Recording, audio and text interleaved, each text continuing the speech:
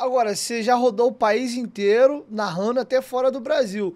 Me faz uma lista dos estádios mais legais de narrar. Pode ser por pressão de torcida. É. Pelo seu estilo, qual estádio que você acha assim bem bacana de narrar no Brasil?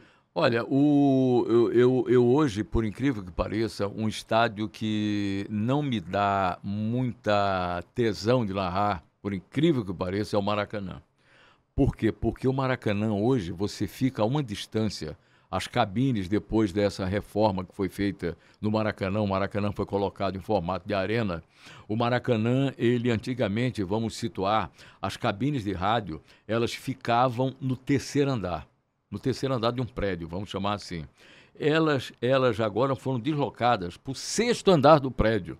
Então você hoje tem no Maracanã uma dificuldade imensa de identificação dos jogadores.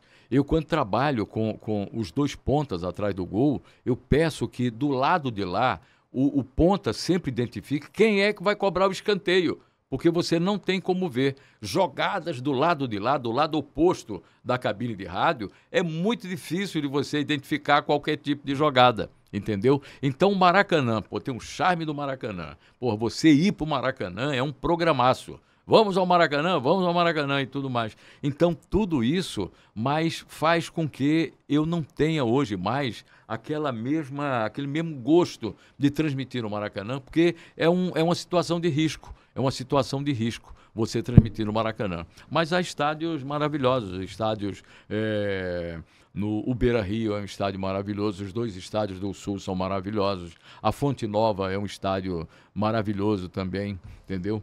É, o, o, o, Mineirão, o Mineirão é um, é um ótimo estádio também de narrar, o novo Mineirão. Né? Há vários estádios maravilhosos. Esses, esses estádios todos, formato arena, eles sofreram muito com essas modificações em relação à colocação das cabines de rádio. E, pô, e você trabalha com isso. O próprio pessoal de televisão, dia desse estava conversando com o Vilani, aí o Vilani o Vilani estava se ambientando ainda no Maracanã, ele falou, cara, não imaginava que o Maracanã era tão distante e tão difícil de você transmitir. E essa mesma reclamação tem o Luiz Roberto, o pessoal da ESPN, quando vem aí fazer jogos, reclama também todos os narradores, o Evaldo José, um dia desse estava conversando com o Evaldo, aí o Evaldo falou, Edson, você enxerga o nome, da, os números dos caras, eu falei, cara, de vez em quando.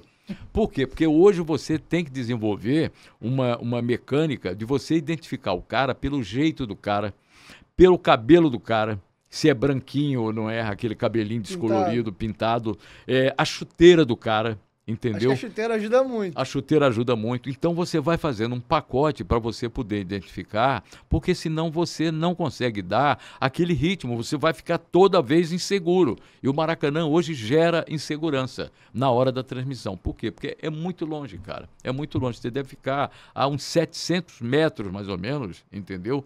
Em relação ao lado, ao lado oposto. Agora, em termos de sentir o calor e a pressão da torcida. Ah, no Maracanã é fantástico. Maracanã é fantástico. São Januário é fantástico, entendeu? A visão, por exemplo, a visibilidade do estádio de São Januário é maravilhosa. É maravilhosa. Por quê? Porque São Januário é aquele estádio à moda antiga, estádio raiz, né? Você tá com a torcida ali, aquele calor da torcida, é, pulsa o tempo todo, a galera, a média de 20 mil pessoas e tudo mais, tudo isso é maravilhoso, compõe, compõe muito bem a, a, a transmissão. O Cantarelli fala que narrando lá ele sente às vezes o estádio até tremer um pouco. Sim, treme, é verdade, é verdade. O que São Januário eu acho que tá pecando é conforto. Isso é fato. Conforto, é. sim, sim, sim.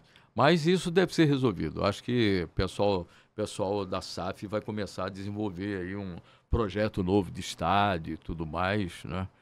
Vamos ver. Eu estou com uma expectativa muito, muito boa em relação ao Vasco nessa temporada.